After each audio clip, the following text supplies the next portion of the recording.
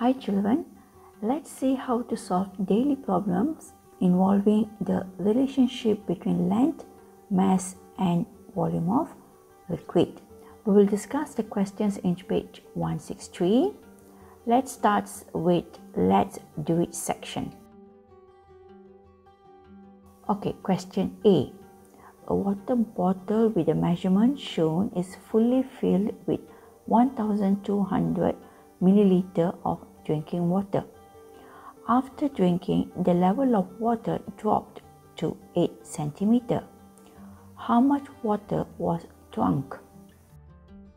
Okay, the level of water in a fully filled water bottle is 20 centimeter. After drinking, the level of water dropped to 8 centimeter. Okay, first we need to find the level of water drunk. Okay, so 20 centimeter minus 8 centimeter equals 12 centimeter. Let's write the equation. If the level of water is 20 centimeter, the volume of water is 1200 milliliter. Okay, for 12 centimeter, what is the volume of water? To solve this, we need to find the level of water for 1 centimeter. To find the volume of water, if the level of water is 1 centimeter, we need to divide.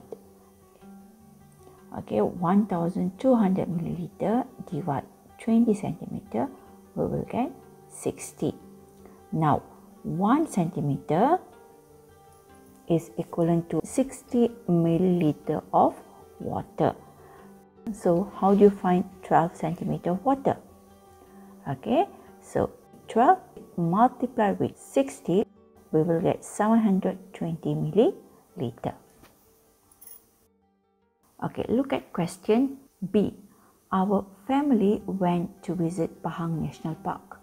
The distance from our house to Pahang National Park is 270 kilometer.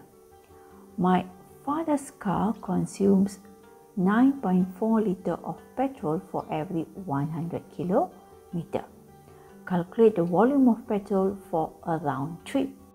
The distance from house to Pahang National Park is 270 kilometer. Okay, a round trip means from your house you go to Pahang National Park and return back to your house. So the total distance for the trip is 270 times 2 that is 540 kilometer. Okay, so first what you have to do is we need to find how much fuel is needed for 1 kilometer.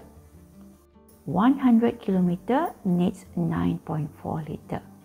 So for 1 kilometer, 1.4 divide with 100. So we will get 0 0.094. Then find for 540 kilometer. Okay. Okay. To get the volume of petrol consumed for 540 kilometer, we need to multiply 540 with 0 0.094. Okay. And the answer will be 50.76 Okay, now look at question C.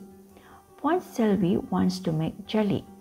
Based on the recipe, 2 liter of water is used to dissolve 250 gram of sugar and 20 gram of jelly powder. Calculate the mass of jelly powder needed by Puan Selvi if she uses 5 liter of water. Okay, so 2 liter of water is needed for 20 gram of jelly powder. So fine for 1 liter. Okay, so 1 liter will need 10 gram of jelly powder. Okay, so for 5 liter, 5 multiplied by 10 is 50 gram. So Puan Selvi needs 50 gram of jelly powder.